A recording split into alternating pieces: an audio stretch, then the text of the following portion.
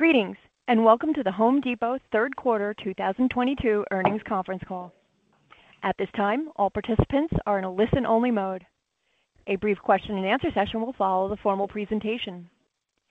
If anyone should require operator assistance during the conference, please press star zero on your telephone keypad. As a reminder, this conference is being recorded. It is now my pleasure to introduce your host, Isabel Janci. Please go ahead. Thank you, Christine, and good morning, everyone. Welcome to Home Depot's third quarter 2022 earnings call. Joining us on our call today are Ted Decker, Chair, President, and CEO, Jeff Kinnaird, Executive Vice President of Merchandising, and Richard McPhail, Executive Vice President and Chief Financial Officer. Following our prepared remarks, the call will be open for questions. Questions will be limited to analysts and investors. And as a reminder, please limit yourself to one question and one follow-up. If we are unable to get to your question during the call, please call our investor relations department at 770-384-2387. Before I turn the call over to Ted, let me remind you that today's press release and the presentations made by our executives include forward-looking statements as defined in the Private Securities Litigation Reform Act of 1995. These statements are subject to risks and uncertainties that could cause actual results to differ materially from our expectations and projections. These risks and uncertainties include, but are not limited to, the factors identified in the release and in our filings with the Securities and Exchange Commission. Today's presentations will also include certain non-GAAP measures. Reconciliation of these measures is provided on our website. Now, let me turn the call over to Ted. Thank you, Isabel, and good morning, everyone. We appreciate you joining us on our call this morning. Sales for the third quarter were $38.9 billion, up 5.6% from the same period last year. Comp sales are up 4.3% from the same period last year, and our U.S. stores had positive comps of 4.5%. Diluted earnings per share were $4.24 in the third quarter, compared to $3.92 in the third quarter of last year. From a geographical perspective, each of our 19 U.S. regions delivered positive comps versus last year, while Mexico posted comps above the company average and Canada below the company average, both in local currency.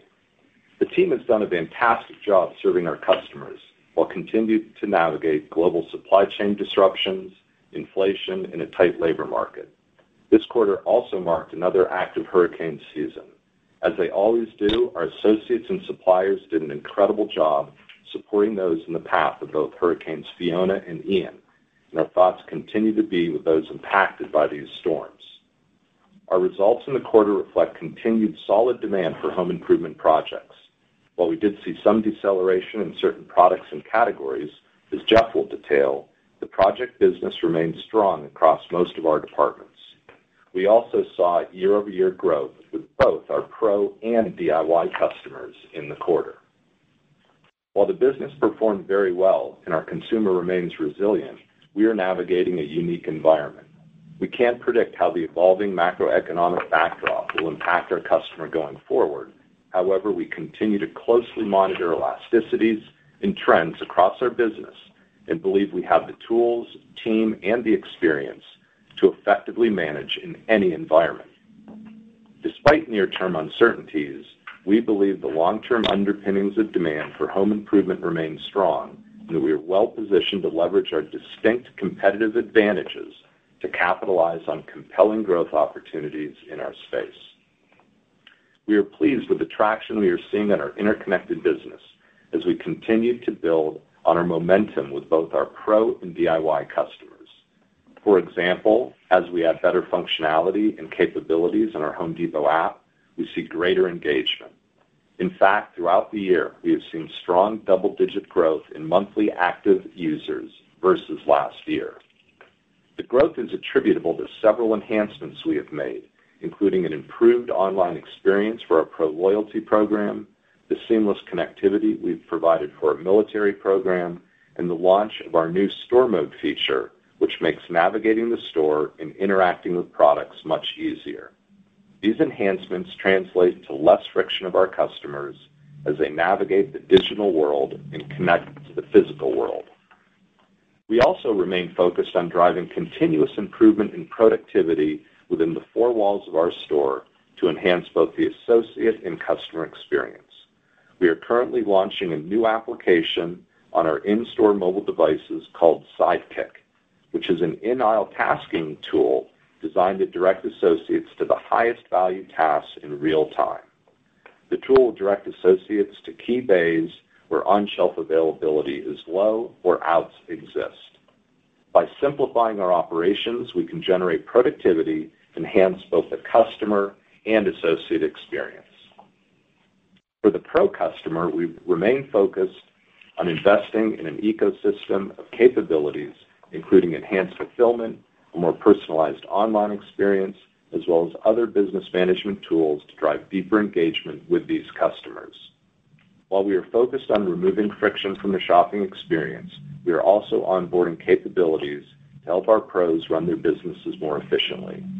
Our pros tell us that finding qualified, skilled labor is a pain point in their business. To that end, we recently announced our Path to Pro platform, connecting skilled tradespeople with hiring trades professionals. This unique and proprietary platform is available at no cost to all Pro Xtra members. It already contains thousands of candidates, and pros have begun posting their open jobs. Our team remains focused on what is most important, our associates and customers. Our merchants, store and MET teams, supplier partners, and supply chain teams did an outstanding job delivering value and service to our customers throughout the quarter.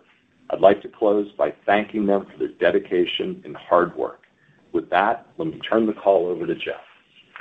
Thank you, Ted, and good morning, everyone. I want to start by also thanking all of our associates and supplier partners for their ongoing commitment to serving our customers and communities.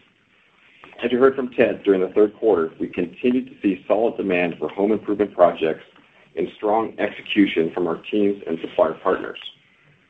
Turning to our comp performance during the third quarter, 11 of our 14 merchandising departments posted positive comps. Building materials, plumbing, lumber, millwork, paint, and hardware had comps above the company average. All other departments, with the exception of appliances, flooring, and indoor garden, were positive, but below the company average. During the third quarter, our comp average ticket increased 8.8%, and comp transactions decreased 4.4%. The growth in our comp average ticket was driven primarily by inflation across our product categories, as well as demand for new and innovative products. Inflation from core commodity categories positively impacted our average ticket growth by approximately 200 basis points during the third quarter, driven by inflation in building materials, lumber, and copper. Big-ticket comp transactions, or those over $1,000, were up 10.1% compared to the third quarter of last year. We saw big-ticket strength across many pro-heavy categories like fasteners, pipe and fittings, and gypsum. During the third quarter, both pro and DIY sales growth were positive, with pro outpacing DIY. We're encouraged by the continued momentum we are seeing with both our pro and DIY customers. In addition, our pros tell us their backlogs remain strong. During the quarter, our project business remained healthy. This can be seen in the double-digit comp performance of our building materials, plumbing, lumber, and millwork departments, as well as in other categories like fencing, siding, conduit boxes and fittings, tubs and showers, and cabinets. We're also encouraged by the momentum we continue to see with our larger pro customers. These medium to large repair or remodel pros continue to post strong double-digit comps. We believe we are building a unique, interconnected pro ecosystem that will increase our ability to grow share in a $450 billion addressable pro space. To serve the pro, it's about removing friction through a multitude of enhanced product offerings and capabilities. We feel confident that the investments across our pro ecosystem are resonating and that we continue to gain share with this important customer. As you know, we've been on a journey to remove friction from our interconnected shopping experience. A great example of this was our announcement in December of 2017 to own more of the appliance delivery end-to-end. And in the third quarter, we achieved an important milestone. We now have 100% of our appliance delivery volume managed through our market delivery operations. This has significantly improved the customer experience. On-time and complete deliveries have increased meaningfully, and customer satisfaction metrics have increased by approximately 6 percentage points compared to the third quarter of last year. Turning to total company online sales, we are very pleased with the performance of our digital assets. Sales leveraging our digital platforms increased nearly 10% compared to the third quarter of last year. This was driven by our continued investments, which are resonating with our customers. For example, during the quarter, lead times improved across different fulfillment capabilities, which drove greater conversion. For those customers that chose to transact with us online during the third quarter, approximately 50% of our online orders were fulfilled through our stores, a testament to the power of our interconnected retail strategy. We're excited about the holiday season. During the third quarter, we hosted our Halloween event and could not be happier with the results. 2022 was a record sales year for our Halloween program, both in-store and online, as our customers continue to add to their collection with our unique and exclusive assortment. As we turn our attention to the fourth quarter, we intend to continue this momentum with our annual holiday, Black Friday, and gift center events. Our teams have sourced the most compelling artificial tree assortment we have ever had, which makes it easier for our customers to find the perfect tree for their holiday. In terms of our decorative holiday program, we couldn't be happier with our industry-leading assortment with extraordinary features and functionality that looks great and also reflects exceptional value. In our gift center, we continue to lean into brands that matter most for our customers with our assortment of Milwaukee, Ryobi, Makita, DeWalt, RIDGID, Husky, and more. Earlier this fall, we launched the next generation of the Milwaukee Drill & Drive M18 FUEL lineup, offering more power, runtime, and increased safety for our customers. In our gift center, we are featuring this innovation in combo kits with four tools and two tools. And we have our exclusive RIDGID four-tool, 18-volt brushless combination kit with two free tools, all backed by our lifetime service agreement. And in appliances, we have exciting offers on LG, Samsung, Bosch, Whirlpool, GE, and Frigidaire. We have multiple exclusive offers, including the LG side-by-side refrigerator with Craft Ice, a great innovation in ice making. As with prior years, we've extended these events over several weeks, and we believe we are well-positioned with the right brands, the right inventory, and a great customer experience. With that, I'd like to turn the call over to Richard. Thank you, Jeff, and good morning, everyone. In the third quarter, total sales were $38.9 billion, an increase of $2.1 billion or 5.6% from last year. During the third quarter, our total company comps were positive 4.3%, with positive comps of 7.1% in August, 4.4% in September, and 2.1% in October. Comps in the U.S. were positive 4.5% for the quarter, with positive comps of 7.2% in August, 4.2% in September, and 2.5% in October. On a three-year basis, monthly comps were consistent across the quarter. In the third quarter, our gross margin was approximately 34%, a decrease of approximately 10 basis points from last year, primarily driven by supply chain investments. We continued to successfully offset significant transportation and product cost pressures while maintaining our position as a customer's advocate for value. During the third quarter, operating expense as a percent of sales decreased 18 basis points to 18.2%. Our operating expense performance was in line with our expectations, which reflected continued wage investments as well as planned investments designed to drive efficiency in our store environment. Our operating margin for the third quarter was 15.8% compared to 15.7% in the third quarter of 2021. Interest and other expense for the third quarter increased by $80 million to $406 million, due primarily to higher long-term debt levels than one year ago. In the third quarter, our effective tax rate was 24.4%, down from 24.5% in the third quarter of fiscal 2021. Our diluted earnings per share for the third quarter were $4.24, an increase of 8.2% compared to the third quarter of 2021.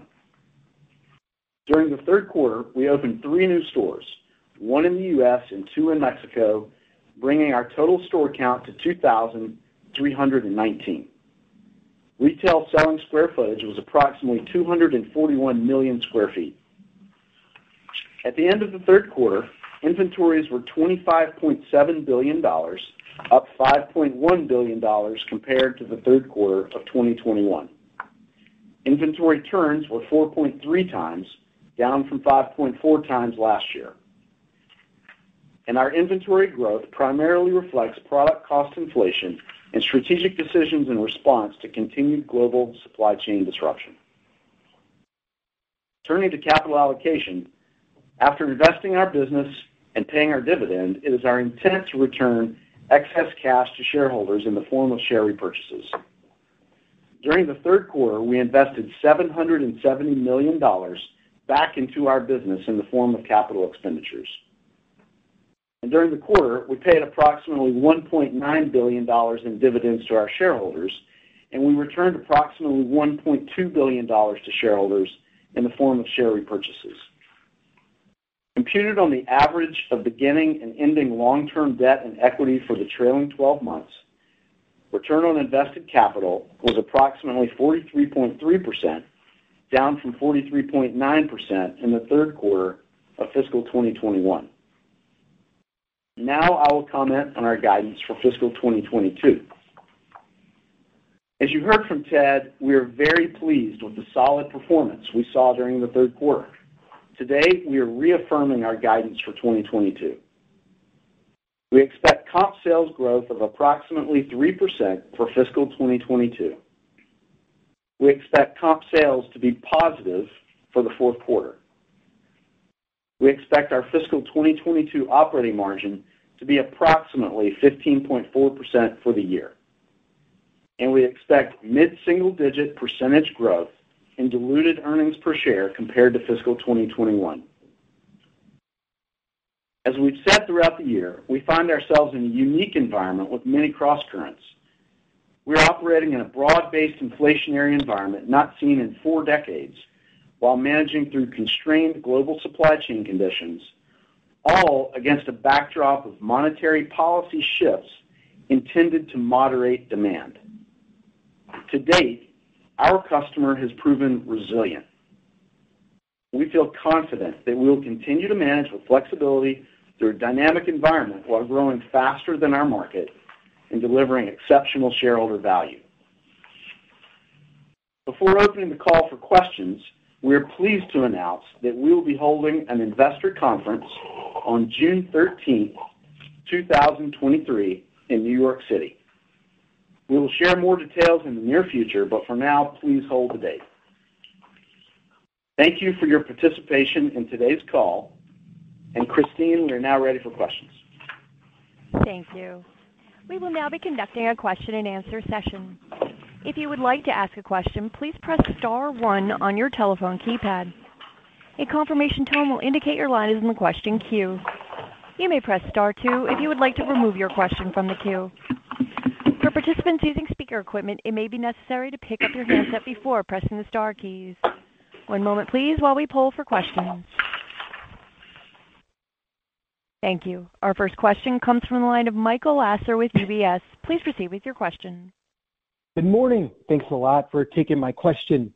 The sentiment and narrative around your stock is so heavily focused right now on factors that are out of The Home Depot's control, like the state of the housing market and its ultimate impact on home improvement demand. So can you help frame what is in your control? If home improvement demand, for example, was down 5% next year, is the state of your initiatives such that Home Depot could gain a couple hundred basis points of market share, and in that environment, you'd only be down, call it 3%? And if your comps were only down 3%, given the flexibility that you have with your cost structure coupled with your uh, current capitalization that affords you to buy back a lot of stock, you could actually grow earnings in that sort of scenario. Hey, good morning, Michael. Thanks for the question. Um, a lot of detail there that um, I won't get into specifics, but but assure you that, you know, we look forward to taking share in any environment. there is a lot of noise um, around housing and home improvement, and you've heard some of this before, but if I can just step back a minute and lay out the environment the way we see it. I mean, we still feel very good, Michael, about our business. We just reported another strong quarter and reaffirmed our guidance for the year. And Remember, we've grown this business $47 billion in the last two and three quarters year. From our core customer, we think our customer is still healthy. I mean, our customer tends to have a good job, growing wages, strong balance sheets. They own their home and have seen increased home equity. However, as Richard said in his prepared notes, I mean, it is a unique environment with lots of crosscurrents of inflation and rising interest rates, et cetera. But given all that, our customer has remained resilient and engaged. As we said, both our pro and DIY customers grew again in this past quarter. Project demand, in particular, is very strong. Our pro sales are strong, and our pro intercepts with our customers indicate that their backlogs are still very healthy. Customers are still spending lots of time at home. We're not all back at work five days a week. These homes continue to age, and they're worth 40% more than they were pre-pandemic. Now, I'm sure we'll get into some housing questions. In housing, values may go down a bit, but we're still gonna be up meaningfully on a two-year basis. We did see some deceleration in certain products and categories. And again, that's that's difficult to get at a root cause. Is it is it a consumer pulling back in general? Is there a reaction to price inflation? Do we have some pull forward in certain categories that people bought so much of certain categories during the pandemic? Or are they moving on to other projects?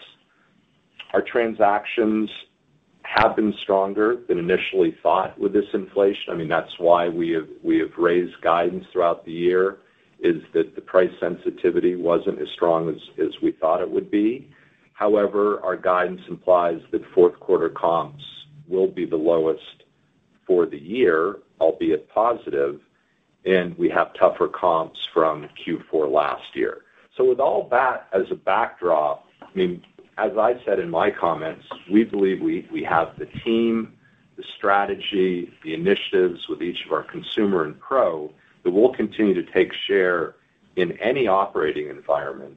And while there may be some some of these crosscurrents in this next X quarters in in housing, we still feel the backdrop of housing, the fundamental shortage of housing in this country and the aging of homes is incredibly strong for our space in the medium to long term. That's very helpful framework.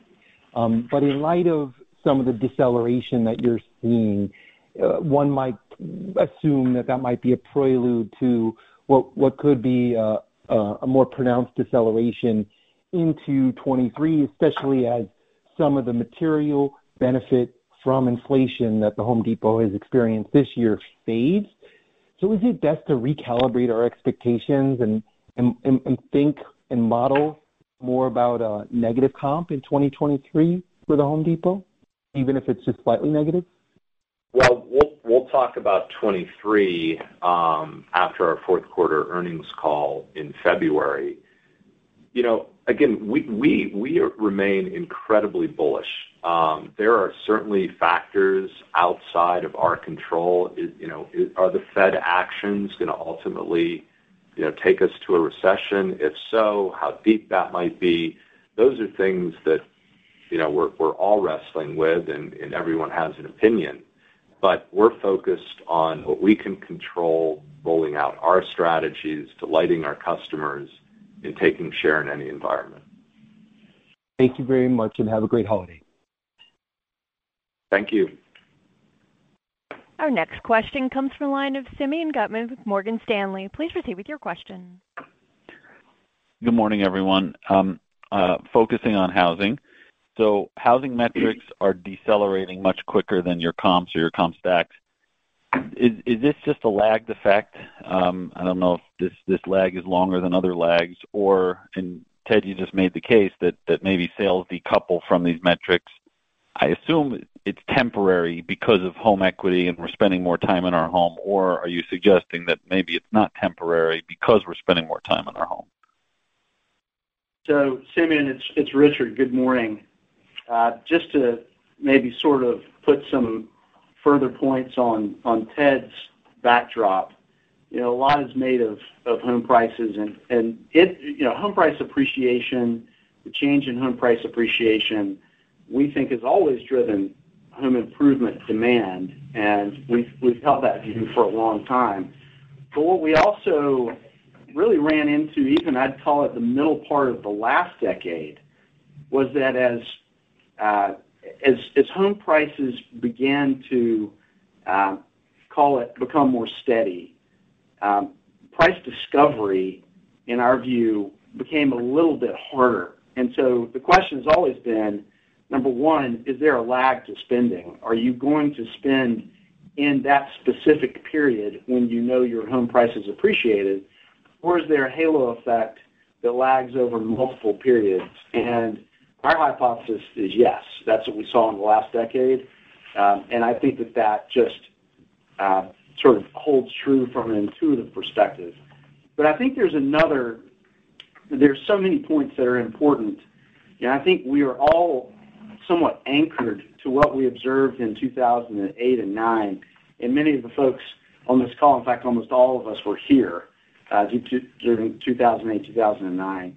You had a situation where Uh, 25% of homeowners were underwater on their mortgages. You had really a relationship that we saw in our comp sales driven by acceleration in foreclosures. So it it, it wasn't, we, we were not in a period of home price depreciation that you're talking about single digits. We had a massive price correction in 2006 to 2008. There was price discovery every single day on the front of the newspaper and millions of forced sellers that were creating that price discovery.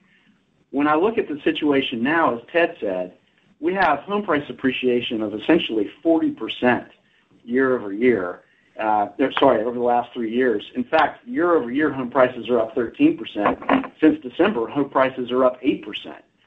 It is decelerating, but I think if you ask uh, or you listen to most observers, I think most people are calling for, if there is a correction, a modest one. So my question is, how will the price discovery occur? And then second, is is that price depreciation actually meaningful enough to change folks' spending behavior? Because as Ted said, if you're a homeowner, you've done quite well from a balance sheet perspective. You likely have a job. You likely have cash in the bank. And then we're seeing another just interesting uh, dynamic where, with mortgage rates increasing, our customer is becoming more and more likely to stay in place and begin a project, so improve in place. And so just sort of going back to the health of the homeowner back in Uh, over a decade ago, 25% of mortgages were underwater back then. Let's look at the credit standing of the housing stock of the U.S. now. Of owner-occupied households, 40% are owned outright, no mortgage. Of those 60% that do have a mortgage, 90% of those mortgages are fixed rate. 73% of those mortgages are fixed rate below 4%. So we are now seeing a dynamic of stay in place and improve your home. And that's what our customers are telling us, and that's what the pros are telling us their customers are telling them. That's helpful. Um, a follow-up on another very easy-to-forecast variable, inflation.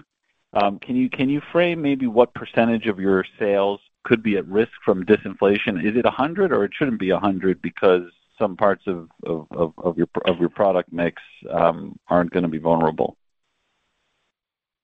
Simeon, hey, good morning. It's Jeff Kinnaird. Uh, we're watching inflation very carefully. Uh, we have seen some deceleration in inflation in the recent months, which is which is good for our consumers, but broadly, we are still experiencing some inflation in some specific categories. Um, I'll call it the lumber market. We have seen a deflationary market in lumber over the recent weeks. In fact, we've seen a lot of stabilization in that industry uh, versus the prior two years. I did call out an impact from inflation in lumber for the quarter that was more representative of uh, early days early days in the quarter. But we're looking at it carefully. We're managing category by category. We're working closely with our suppliers in terms of managing costs and cost components. We have a very good and deep understanding of virtually all cost components of all products that we sell. And again, we're managing it uh, very closely. Thanks very much. Our next question comes from the line of Chris Horvers with JPMorgan. Please proceed with your question. Thanks. Good morning, everybody. So maybe um, to summarize your comments today, I guess it's that you are incrementally more cautious because you're seeing certain categories maybe become slowing or more volatile, but it's not dramatic, and it's more the uncertainty of what the Fed, you know, the Fed's rate uh, raising is gonna affect the business in the future, potentially. That's yeah, I think that's a fair representation, Chris. Okay. And then I, you know, so can you talk about some of the KPIs you're watching? You know, I guess, what categories specifically are concerning you? Are you seeing DIY trade down? Uh, are you seeing maybe unit trends in the project business slowing? It seems like, you know, the commodity inflation is driving some of your best project categories. And and are you seeing any more sort of volatility from the consumer, I guess, over the, you know, past couple months that that is adding that element of caution? Well, I would say, you know, the healthiest thing we see, and as you can imagine, we look at, you know, every data set and by geography and category, et cetera.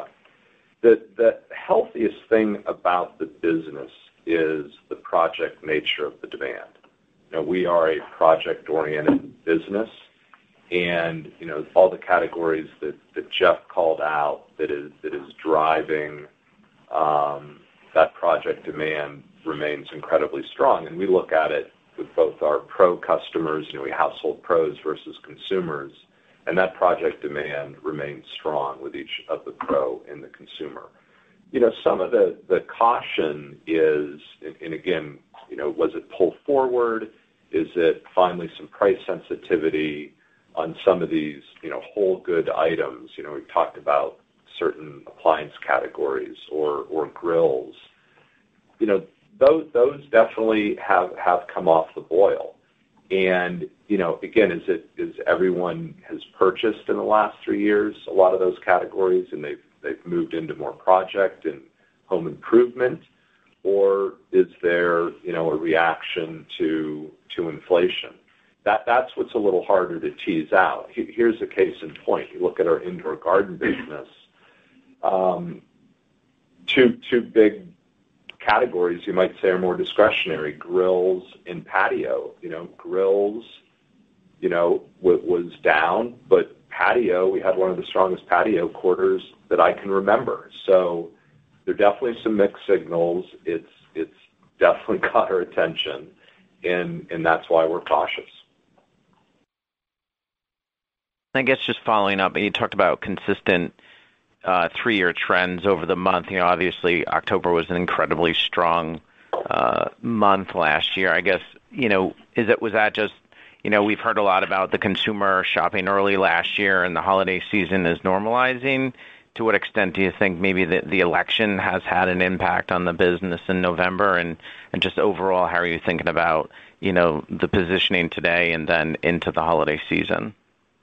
Well, Jeff Kinnaird. Um, Look, you know, we see some normalization back to 2019 in terms of the consumer trend.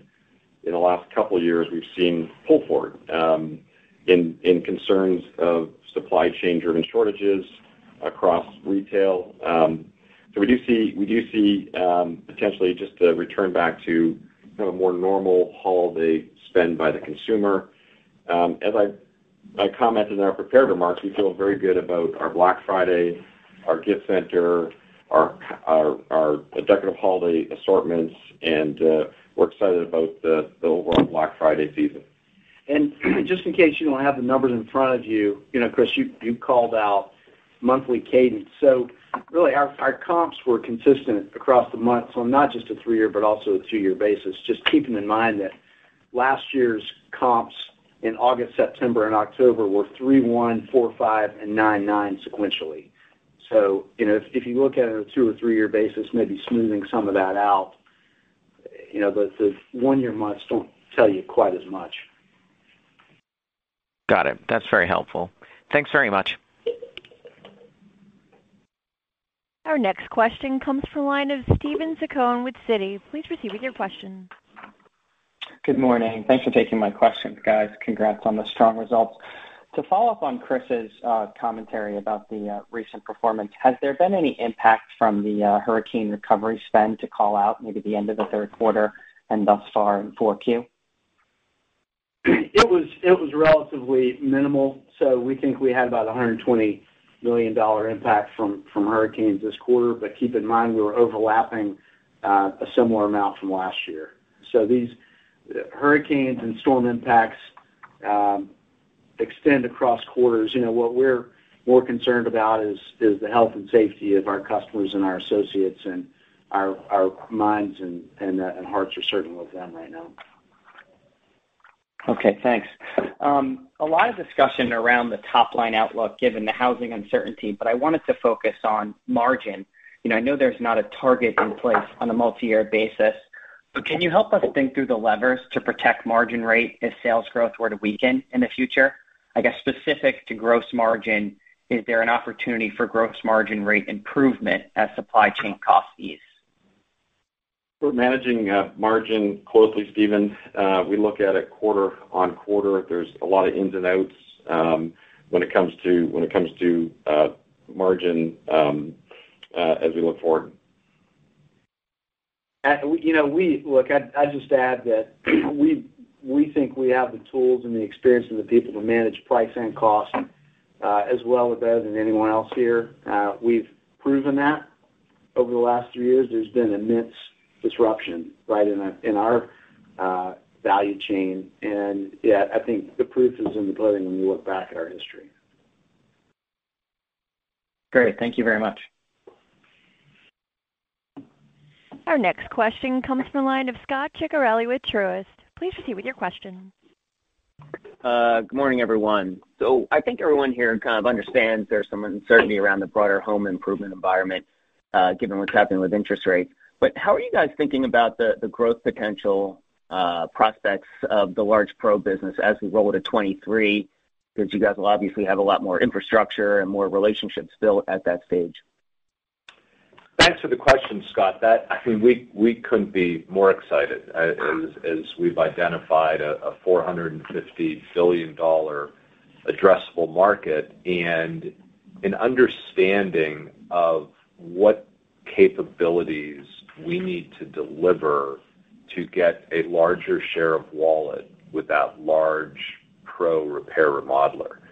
I've been here, as you may know, over 22 years, and we've always known what we needed to do to capture more share of wallet with that pro. Um and what's so exciting is that Hector and his team right now are actually building out the capability set to get more share of wallet with that large pro. And as we build out these capabilities, introduce them to the customers, we're seeing the engagement and the incrementality of sales growth um, take off. And Hector, if you give us a little more insight of what you're building would be great. Yes, Scot. Uh, we continue to be super excited about uh, the response from our pros as we continue to enable capabilities to remove friction from our ecosystem. Um, very excited about the expansion of our outside sales resources and the growth of those customers are driving. Uh, we're seeing those customers grow, not just with direct sales with our outside sales associates, but they're also engaging more on our digital platform and engaging more in our stores for that on-plan purchase. And as we continue to grow um, around other capabilities, whether it is in the B2B digital platform or in-store platform, we just continue to be super excited about the response of our pros. And we are just removing friction. We're removing friction from all the different channels, and our customers continue to engage with us more and more. is there a way to potentially size or at least for us to, you know, conceptually think about kind of what the potential revenue ramp is as these capabilities get built out? I you know, as Ted said, we're excited. One of the reasons we're so excited is because it's such a fragmented market such a fragmented market of suppliers. Um and so we just think the opportunity is exciting and tremendous, and part of the excitement is it's hard to size. But, but I can say, I mean, we don't break out these numbers, but um, you know, each of Pro and Consumer grew again this quarter. And you know, the Pro yet again grew meaningfully um, faster than the Consumer. And our large Pro, the ones who are engaging with, with what Hector and team are developing, are growing the fastest yet. Very helpful. Okay, thanks, guys. Our next question comes from the line of Chuck Grom with Gordon Haskett. Please proceed with your question. Hey, uh, thanks. Good morning. Uh, great quarter. Um, overall transactions down a little over 4%. I was wondering if you could unpack that for us across the Pro and DIY customer base. I don't know if we we break that out, but the strongest again was the large Pro. Okay. All right. Uh, no follow-up. Look, I'd say, I mean, maybe a way to put it too is our Pros shop across our assortment, so you're gonna sort of see similar dynamics, you know, ticket transaction across the business, generally speaking. Um, but as Ted said, the strength is with the Pro. Okay.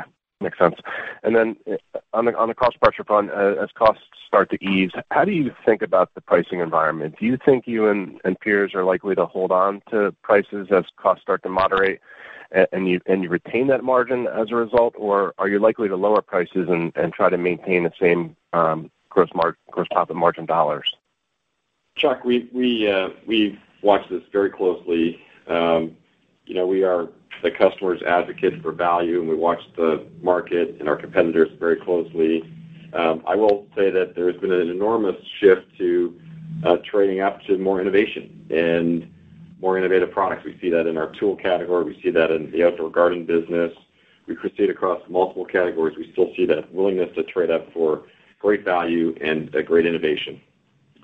But and on the the cost side, um, Chuck, it's definitely easing. So you look at commodities in particular. Commodities have been down six, seven months in a row. You know, lumber is obviously way down from peaking at nearly $1,500 uh, to now under $500 um, from peak to current during this last three years. However, we still see inflation across the store. So while some will be coming down in certain categories with with costs and retails, our forecast at this point is that net inflationary cost pressures continue into 2023. Okay. Thank you. Our next question comes from the line of Brian Nagel with Oppenheimer. Please proceed with your question. Hi. Good morning. Nice quarter. Congrats. Thank you. So my first question, I think I wanna ask that uh, Chuck's question maybe a little bit differently. But I mean, well, with regard to inflation, what we've seen now for a while is Home Depot's done a remarkable job of kind of strategically passing along inflation. So, Ted, you've mentioned a few times now you're starting to see some inflationary pressures ease. Because the question I have is, you know, are you seeing or would you expect that as inflationary pressures ease, even if pricing doesn't necessarily go down, you see some type of elasticity in demand, meaning that unit demand would pick up in that type of environment?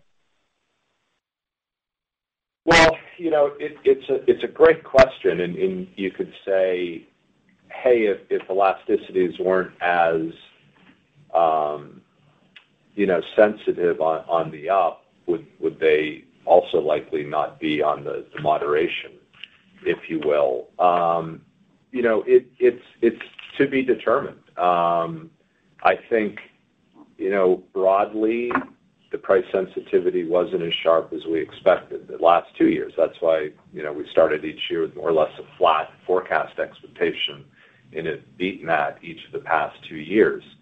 On certain commodities, lumber, copper wire, where we're pricing to market weekly, you see a much more classic reaction to price and unit productivity.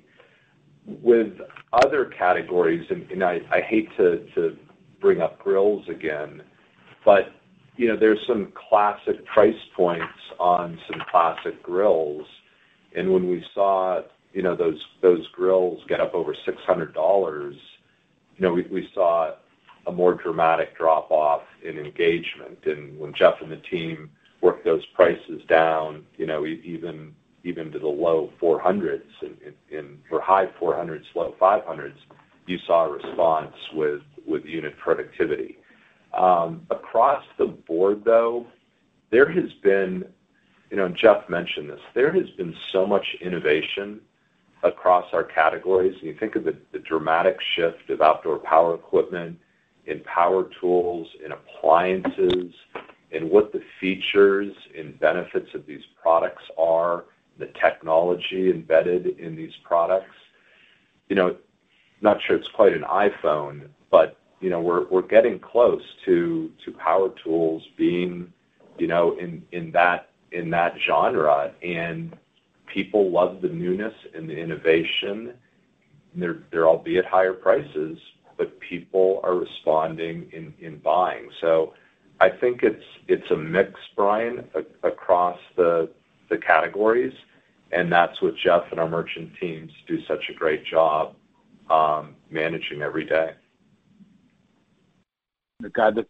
That's very helpful. Then, my follow-up, and a quick one just for Richard. Um, you gave us the cadence of comps through the quarter. Obviously, we saw the reiteration of guidance, but any commentary more specific on just the trend in business here into Q4? You know, nothing in the first two weeks of Q4 changes our view on 2022 guidance. And as we said, we expect comps to be positive in the quarter. Got it. Appreciate it. Thank you. You're welcome. Our next question comes from the line of Zach Fadem with Wells Fargo. Please proceed with your question.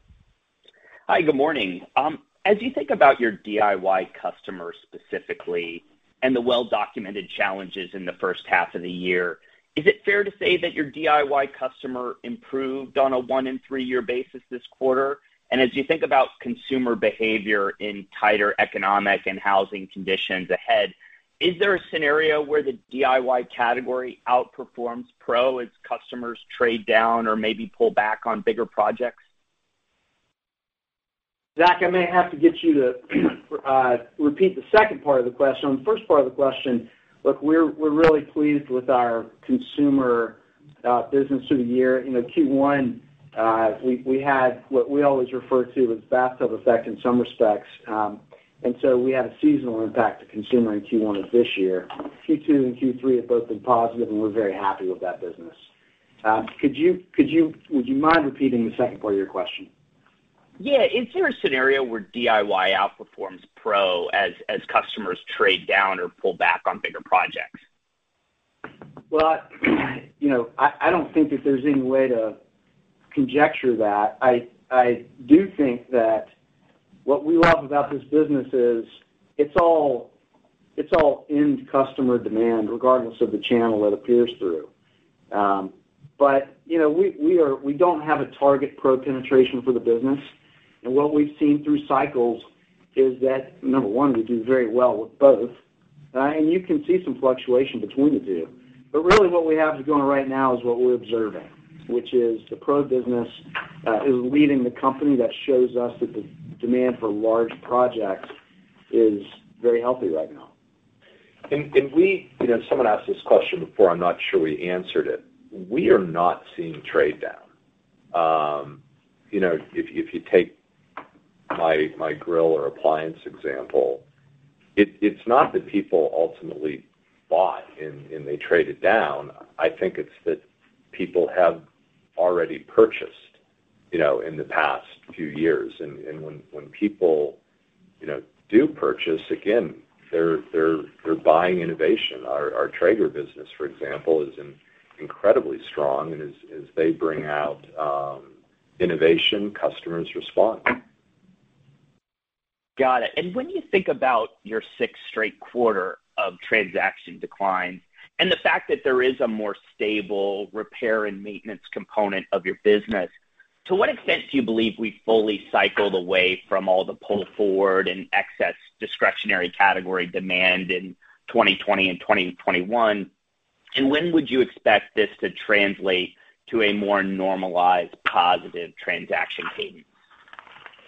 Well, you know, that, that's such a great question, and it's something, you know, we observe and build our theories of the case. When you go back now, what are we? We're 11 quarters of this pandemic. And, you know, the first five, six, we had tremendous transaction growth, right? We all know the story of what happened. Not necessarily a lot of cost inflation at that point. And then the last six quarters, you know, we start to lap that tremendous activity, but also saw, for all all the reasons we know, supply chain, commodities, you know, global cost pressures. We saw significant cost in our business, and comps were driven as they were this past quarter with with ticket over transactions. What we see now as you step back approaching three years is our transaction run rate, our sort of three-year CAGR at this point, is more or less pre-pandemic rates. And you could look at that on one hand and say, "Wow, here's the slowdown." On the other hand, you know, Richard used the term holding serve. You can look and say, "Oh my gosh, this industry erupted with demand for a year and a half." Then it cycled significant cost increases. The customer hung in there and was resilient, and your net over this three-year period up in transactions in units, despite what we believe you'll hold on to these price levels. I think that all goes back to my, you know, my opening comments of what is the dynamic of this overall industry and the health and the engagement level of this customer.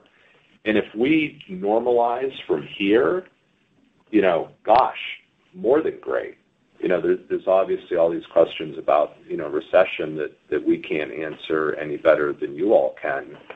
But when you digest and look back on what's happened in the last three years, you'd say, "Wow, that's a pretty incredible market segment. Appreciate the thoughts. Best of luck. Thank you.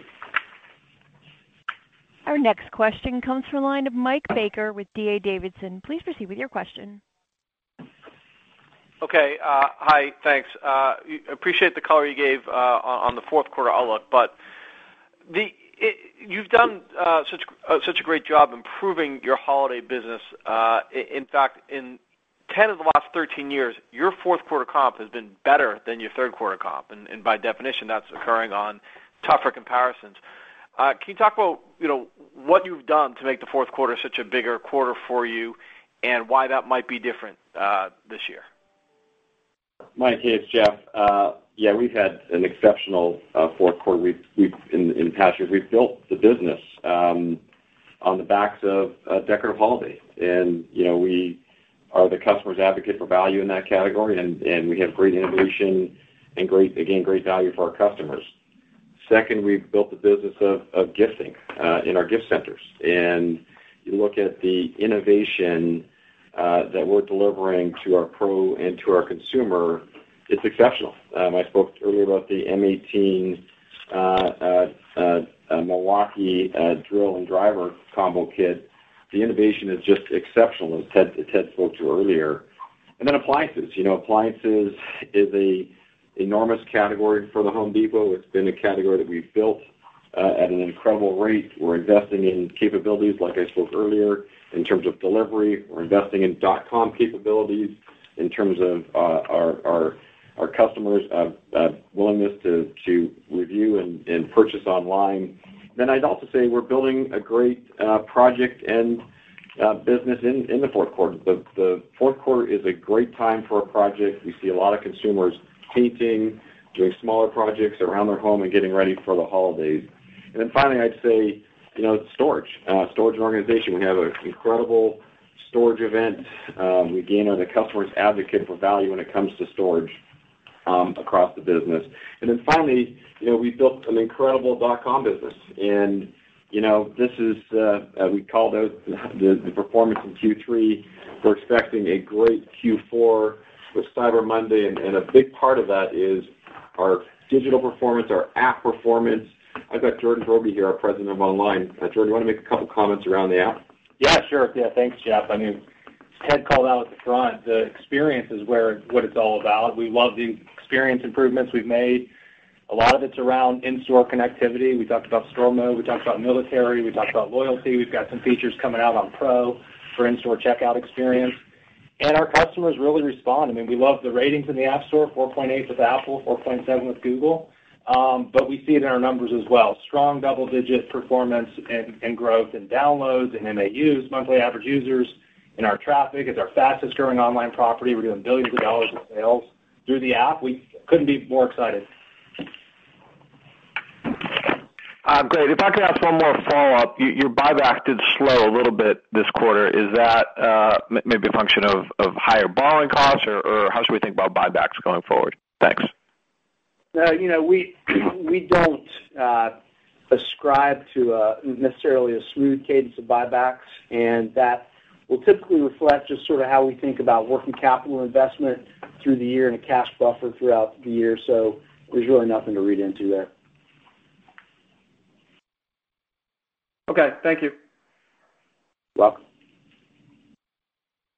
Our next question comes from the line of David Bellinger with MKM Partners. Please proceed with your question.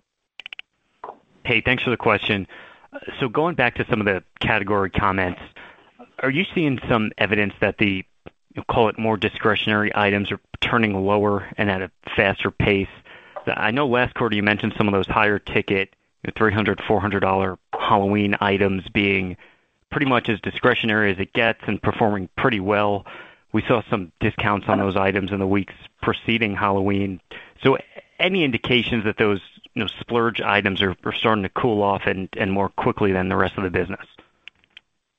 David, uh, you know, we had, as I commented earlier, we had record sales both in-store and online in Halloween. That included the infamous Skelly, which has been one of our best sellers in terms of of the innovation and value we offer our customers. It's really unmatched in the in the marketplace, and we couldn't be happier with our Halloween performance. If I turn to the fourth quarter, uh, we're really excited about our decorative holiday assortment. We've got great innovation and great value for our customers across the assortment, if it's trees, if it's lights, if it's decorations. Uh, we feel very good about the category, and our consumers are reacting exceptionally well to it. Got it. I have a Skelly, so I know exactly what you're talking about. Uh, my my follow-up, just on the inventory levels, how much of that growth is aimed at Pro customers? So is there a piece of that inventory that's not sitting in the stores, maybe it's at facilities like in Dallas, so that the number looks to be a bit more elevated to us at the store level? Just help us unpack the 25% inventory growth number and just get us comfortable that you aren't sitting on too much at this point, especially with some of the deceleration you're now seeing. Well, look, investment in inventory in our One Supply Chain facilities is certainly one of the factors in inventory growth year-over-year. The primary factor is really just inflation um, uh, as as part of the inventory value. And then we made strategic decisions to land uh, inventory earlier in the year than we have prior. And really just to give you some uh some numbers around that and to reflect the fact we we feel fantastic about our inventory position. In Q2, we grew our inventory 38% year-over-year. In Q3, that number dropped to 27% year-over-year. And actually, if you look throughout our history, we actually typically build inventory from Q2 to Q3. In this case, our inventory actually came down by $400 million from Q2 to Q3. Our inventory uh, is healthy, and we're happy with our position. Thanks, Richard. Appreciate it. Christine, we have time for one more question. Thank you. Our final question will come from the line of Steven Forbes with Guggenheim. Please proceed with your question. Good morning. Maybe just to follow up uh, or focus on the quarterly performance.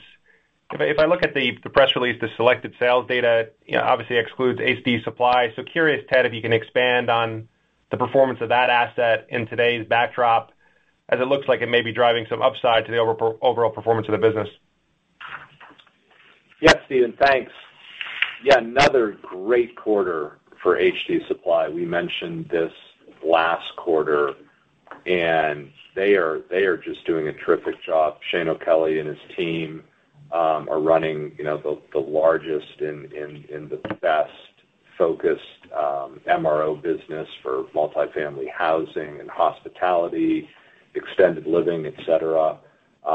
We are well, remain well ahead of all our financial projections when we made the acquisition. Their integration is is tracking. They're integrating sales forces, customer uhm, uh, records, and now starting the work or on their way in the work of integrating the supply chain. So that one is is um just been a been a terrific acquisition that we're super happy about. Then maybe just a quick follow-up uh, for Richard or or Ted. Uh, given the performance, can can you remind us on what percentage of sales uh, that business is today? And then as we as we look at the sort of spread between comp and net sales growth, any any reason to think that the current, you know, sort of year-to-date spread doesn't hold into the fourth quarter? Well, we don't break HD Supply out, but as Ted said, we're we're uh so happy with it. Um, on the difference between sales and comp, we've always seen a gap there. It just, you know, comp reflects sales through the POS. Sales reflects sales as they're actually delivered or installed. You're gonna see that number uh, vary. We'll probably, through the year, sales will be a little higher than comp um, comp guide. But the important guide here is comp because that's our activity-based metric around sales. Thank you. You're welcome. Ms. Janci, I would now like to turn the floor back over to you for closing comments. Thank you, Christine, and thank you for joining us today. We look forward to speaking with you on our fourth quarter earnings call in February. Ladies and gentlemen, this does conclude today's teleconference. You may disconnect your lines at this time. Thank you for your participation, and have a wonderful day.